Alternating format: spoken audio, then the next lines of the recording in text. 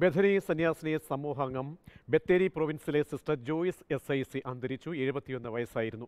ദീർഘനാളായി രോഗബാധിതയായി ചികിത്സയിലായിരുന്നു. മല്ലപ്പള്ളി തോട്ടുങ്കൽ കുടുംബാംഗമായ സിസ്റ്റർ ജോയിസ് തിരുവനന്തപുരം മേജർ അതിരൂപത archbishop cardinal Baselios Cleemis Catholicos ബാവയുടെ സഹോദരിയാണ്.